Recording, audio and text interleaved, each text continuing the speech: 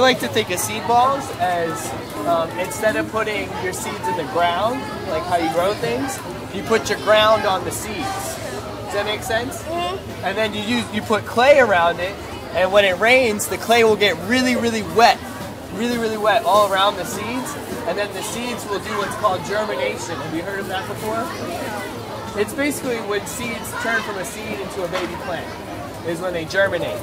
So, so it holds the water around them real good so it germinates, and then once it germinates, the seed has all it needs to start surviving and living and thriving. Does that, does that make sense?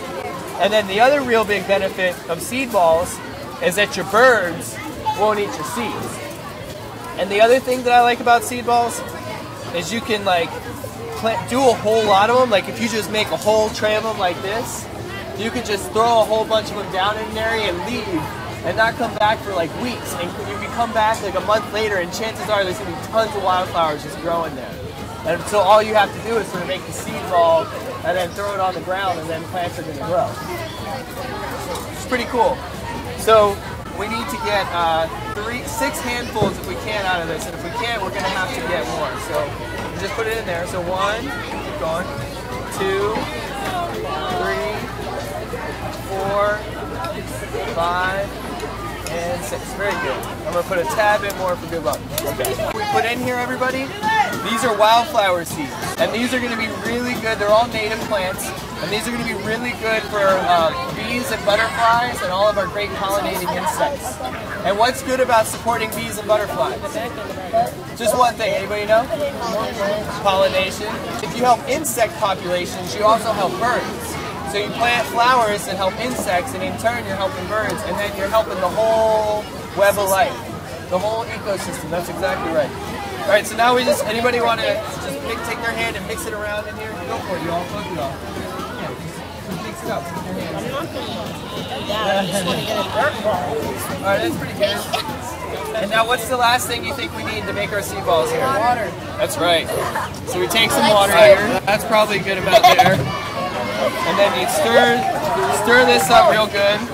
You get it real evenly moist inside. This is looking good. This is a good amount of water here. Okay, and we are about to make our seed balls, everybody. We are seconds away from our hands getting even dirtier. How does that sound? Yay! All right, now this is a good mix here. So the, the last step here is that you just take a little bit of this and you uh, roll it up in your hand like that. And that, my friends, is a seed ball. Just roll it up like Play-Doh. Oh, there we go.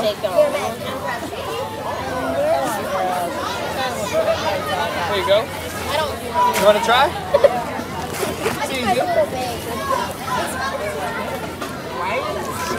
And you can take them home with you or you can put them down on the blue tray. Either way. Right here. I mean, like, uh, if you want to take them. Oh, if you want to take them, put them underneath a little bit of mulch. No, I Or, you all want to make some more? Yeah. You got more here for y'all to make. Does it matter what size? Big? Yeah, you probably want to make it three. If, the more you can spread them out, then uh, the more likely you're going to have plants all over the place. But if you have like one really big one, then all the plants are just going to try to grow in one space. Hey, feel free to uh, make the rest of these. It's really great to meet all of y'all. Thank you. Oh my god. Thank you. Thank